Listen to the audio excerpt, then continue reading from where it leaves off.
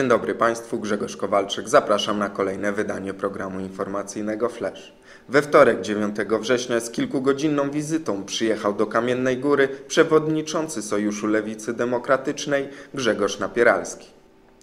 Lider SLD we wtorek przebywał we Wrocławiu. Na zaproszenie kamiennogórskich samorządowców odwiedził Kamienną Górę. Zwiedził Kamiennogórski Ratusz, a następnie udał się do Powiatowego Centrum Zdrowia. Kamiennogórski Szpital jest jednym z nielicznych w Polsce, którego współwłaścicielem jest samorząd. Przypomnijmy, że po przejęciu szpitala przez powiat długi zaczęły maleć, a w dniu dzisiejszym szpital przynosi zyski. Odremontowana została już większa część szpitala oraz ciągle doposażany jest w niezbędny sprzęt. Przewodniczący SLD po wizycie oraz rozmowie z pracownikami szpitala ocenił jego funkcjonowanie jako bardzo dobre. Jak powiedział nam Grzegorz Napieralski, duże wrażenie na nim zrobiły takie inwestycje jak remont muzeum, modernizacja dróg w Kamiennej Górze oraz wspomniany już szpital. Wizyta posła trwała jedynie kilka godzin, lecz w ciągu tak krótkiego czasu zauważono, że dzięki dobrej współpracy miasta z powiatem można w Kamiennej Górze dobrze zarządzać.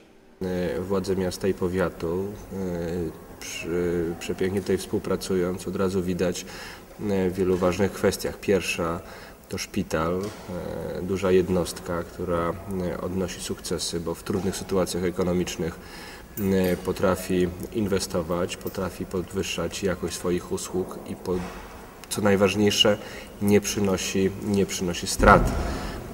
To pokazuje, że można dobrze zarządzać i można dbać o, o służbę zdrowia i przede wszystkim dbać o dobro pacjenta. I to wszystko zależy od polityków, którzy po prostu muszą chcieć i ponad podziałami politycznymi współpracować. Współpraca gminy i powiatu ewidentnie pomaga e, rozwojowi tej jednostki. I druga rzecz, która przykuła moją uwagę, to szereg inwestycji, tych mniejszych i większych, i drogowych, i nie tylko, co pokazuje zaradność, zaradność gminy, dobre zarządzanie budżetem miasta, dobre, dobre do, do, dopilnowanie wydatków, wydatków budżetu miasta przez y, władze. Y, no to, y, to pokazuje, że rządzą dzisiaj gminą i powiatem ludzie kompetentni, i pokazuje, że jeżeli się chce, to naprawdę można, więc naprawdę jestem pod wielkim, wielkim wrażeniem. Krótka, bo trwająca jedynie 13 minut sesja Rady Miasta w Kamiennej Górze odbyła się w czwartek w Kamiennogórskim Ratuszu. Powodem tak krótkiej sesji był jej program. Zawierał on jedynie dwa ważne punkty. Jednym z nich było sprawozdanie Komisji Rewizyjnej z przeprowadzonej kontroli dotyczącej umorzeń podatkowych za rok 2007 i pierwsze półrocze roku 2008. Sprawozdanie przedstawił członek Komisji Rewizyjnej radny Henryk Różański. Na podstawie informacji Skarbnika Miasta w roku 2007 w zakresie podatków lub opłat ze względu na ważny interes podatnika lub interes publiczny dokonano umorzeń z tytułu podatków od nieruchomości i środków transportowych. Pierwsze dla osób fizycznych na kwotę 42 464 zł i 70 groszy. Dla przedsiębiorstw na kwotę 657 984 zł i 24 grosze. W sumie umorzono podatki i opłaty na łączną kwotę 700 448 zł 94 grosze. W pierwszym półroczu 2008 roku w zakresie podatków lub opłat ze względu na ważny interes podatnika lub interes publiczny dokonano umorzeń z tytułu podatków od nieruchomości i środków transportowych dla osób fizycznych na kwotę 18 728 zł i 70 groszy, dla przedsiębiorstw na kwotę 191 631 zł i 80 groszy. W sumie w pierwszym półroczu 2008 roku umorzono podatki i opłaty na łączną kwotę 210 360 zł i 50 groszy. Na podstawie wyżej wymienionych informacji zespół kontrolny stwierdził, porównując rok 2008 z rokiem 2007, że nastąpiła tendencja spadkowa umorzeń podatkowych. Przypomnijmy, że aby uzyskać prawo do zwolnienia z podatku dotyczących przedsiębiorstw, głównym warunkiem jest niezaleganie z podatkiem za poprzednie lata. Zarząd Powiatu Kamiennogórskiego Platformy Obywatelskiej zaprasza wszystkich mieszkańców powiatu do wzięcia udziału w drugiej pielgrzymce Platformy Obywatelskiej. 13 września w sobotę o godzinie 15 rozpocznie się zwiedzanie Bazyliki Mniejszej w Krzeszowie. Na godzinę 16 przewidziana jest msza święta koncelebrowana przez arcybiskupa metropolitę wrocławskiego, jego eminencję księdza kardynała Henryka Gulbinowicza i jego ekscelencję ordynariusza diecezji legnickiej Stefana Cichego. Przewidziana jest również projekcja filmu pod tytułem Krzeszów perła europejskiego baroku. Po emisji rozpocznie się koncert Filharmonii Dolnośląskiej. W poniedziałek 8 sierpnia na drodze nr 367 z Szarocina do Kamiennej Góry doszło do zdarzenia drogowego. Około godziny 12.30 kierowca jadący od strony Szarocina samochodem marki Volkswagen Golf najprawdopodobniej zasnął za kierownicą i uderzył w drzewo.